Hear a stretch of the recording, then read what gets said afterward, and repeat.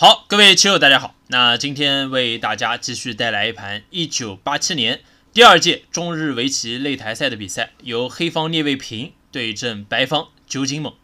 啊，好，我们来欣赏一下。开局呢，聂老是新小目，白棋象小目。啊，这个棋白棋就比较的保守一点。单官挂脱退。再挂啊，白棋又走了一个脱退。那这个局面其实黑棋并没有什么不满意啊。虽然说白棋开局捞了两个角，但是黑棋两边同行，能往中央一拆啊，这个配置是完全不错的。好，下一手白棋继续小飞挂，聂老师二尖高夹。那这个局部呢，我们现在看到这个飞压会比较多一些啊。那那个年代呢，小尖多一点啊，包括这个实战的跳也比较多。如果走这个小尖呢，黑棋大致有两种走法啊，给棋友们介绍一下这个老定式。第一个是黑棋尖顶，白棋二路搬，搬完之后打吃粘上，长一个黑棋再一跳啊，这个时候由于白棋角上已经比较的厚，马上就可以进行一个反夹啊，这个是白棋一个不错的走法。如果说尖的时候呢，黑棋飞，那这个就更简单了。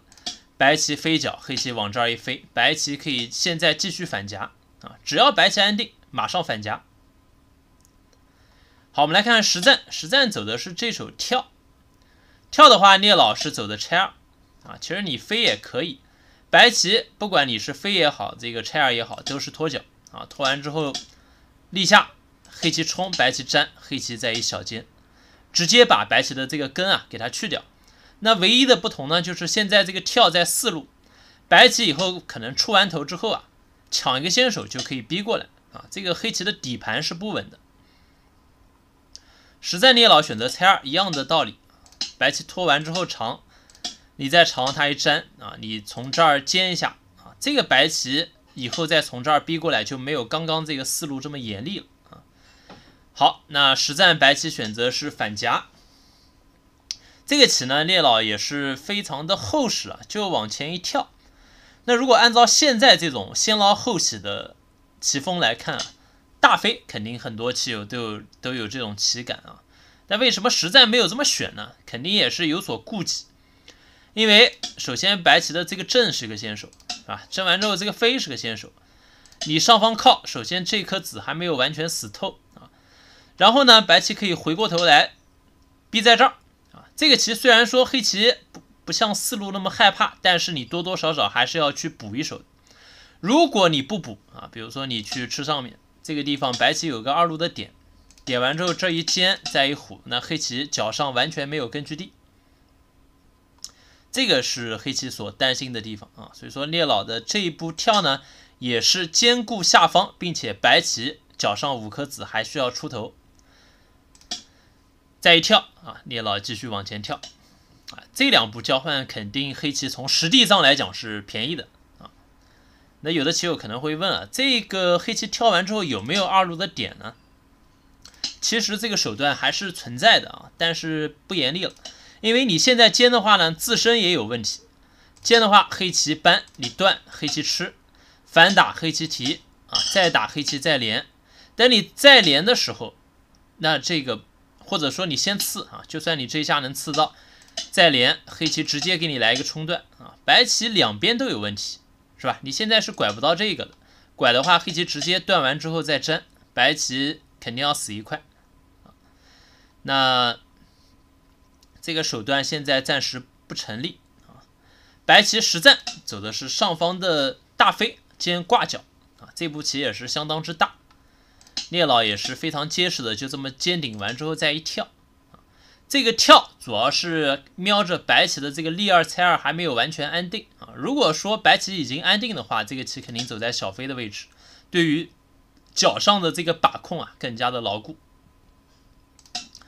好，实战是跳在这儿啊，那白棋呢走的是这手碰啊，这个棋确实不太容易能想到。那我们第一感肯定还是捞空啊，这手棋相当之大。这个飞，首先你的这个拆二安定了，而且黑棋下面的根被白棋给收掉，你冲它就顶，对吧？但是白棋也有所顾虑啊，因为下方毕竟还没有活嘛。你这样捞一票，黑棋把这儿一尖，把这个毛病先手一补，再往这儿一屈阵啊，白棋跳出去，黑棋顺势一飞，这样的话白棋会被攻的比较惨啊，黑棋的孤棋呢顺势就处理好。所以说实战也并没有去走这个小飞。那九井猛呢选择这步碰，这手碰确实有这个阴谋在里面啊。那我们如果按照第一感啊，这个地方不太想跟白棋这样较劲。如果你长一个呢，你想避战，但是白棋不答应啊，这个地方再点就成立了。点完之后可以先往这儿刺一下，尖断啊，你打吃他从这儿反打，你提掉他再一打，是吧？你这个劫肯定万万不能开的，这个开劫出其无劫，黑棋太重，所以说只能粘，粘完之后白棋再粘。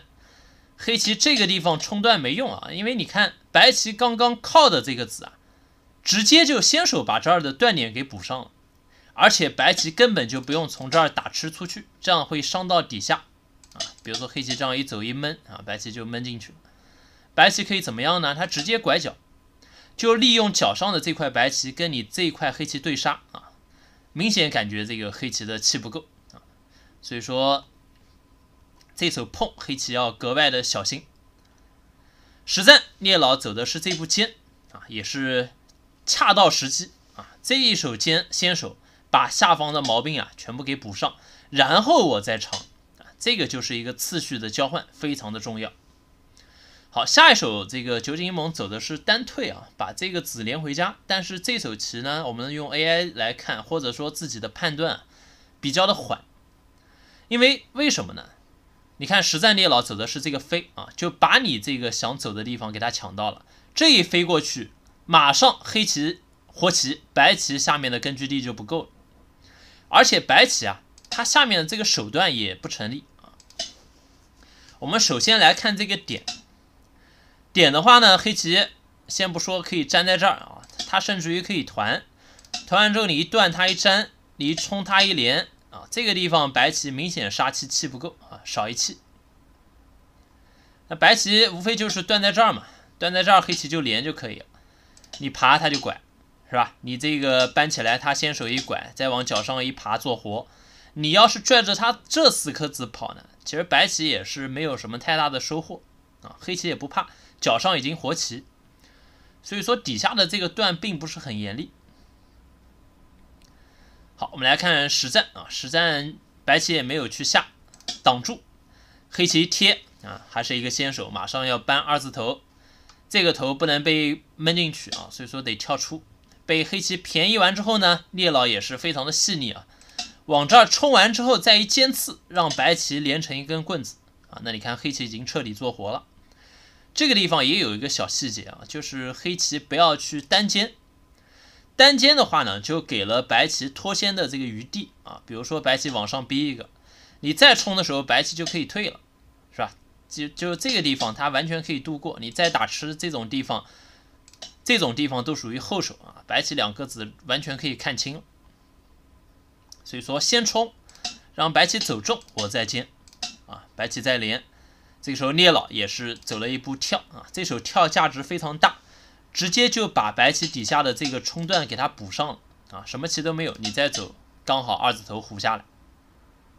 所以说这个布局走到这儿呢，这个白棋啊始终有点被黑棋牵着鼻子走的感觉，而且你的这个棋很薄啊，但是你现在没没功夫再去出头了，你再去出头，一方面对黑棋的影响不大，第二点呢，黑棋很有可能直接在上方搬完之后捞空啊，这个是。白棋所不能接受的，你走了半天，等于说只有开局的两个角，右边一连串，连实木棋都不到啊，这个白棋就比较吃紧。所以说他实战走的是这个二路的二五清分啊，漏了一手。那对于这个尖顶的角还有哪些手段呢？比方说这个 B 啊，但这个 B 呢，黑棋只要一手棋就能把这个角地全部给拿住，白棋显然也不太满意。好那再给棋友们讲讲这个点三三啊，直接点有没有棋？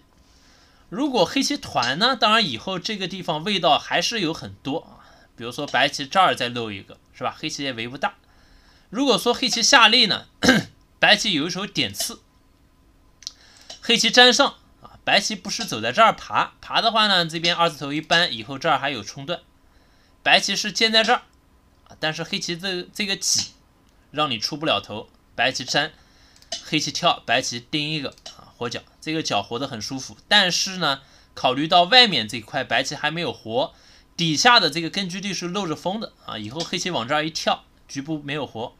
况且黑棋往这儿一正头啊，当白棋去补活的时候，你会发现中央黑压压的一片，全是黑棋的潜力。就这个棋活角肯定是不划算的。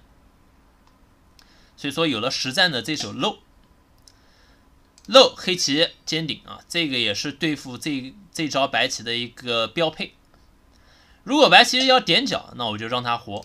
是吧？它不能往外长，往外长一扳，它不能断，断完之后再一爬，白棋局部死棋啊！它要夹我粘，这样的话，白棋就算活也是连滚带爬啊，跟刚才的图比起来差远。那白棋实战是往外长，黑棋再一虎，白棋再一飞啊！那这个图形呢，就是黑棋还是要花一手棋去把这个实战一样扳粘的。如果你不走啊，比方说你往这儿去拖一个先啊，白棋马上这儿就有一点点的话，你要粘它二路扳，是吧？你下力它直接夹回家，这个黑棋的角就全部没有。所以说聂老马上选择扳粘。好，九金猛往这儿一跳啊，这手跳呢也是为了防止刚才黑棋的这手大跳，这个是一个模样消长的一个要点。当然了，你这个空现在还不完全算白棋的啊，因为黑棋还有打入。但是现在黑棋不会打啊，现在打的话没有意思，破了这么二十目，自己造出来一块孤棋。白棋首先两块棋一联络啊，已经活棋的情况下，再往左边一跳，黑棋你现在到底是出头呢，还是说补这儿呢？对吧？这个就两难了。你如果出头，白棋马上往下有各种各样的打入手段啊，这个黑棋就守不住了。如果你在这儿补呢，白棋回过头来再往这儿一震，这三个子也是略显单薄，所以说这个黑棋现在没必要去打入。实战聂老也是非常有想法啊，这个二路的爬，就目前的局面来讲也是比较难以去想到的。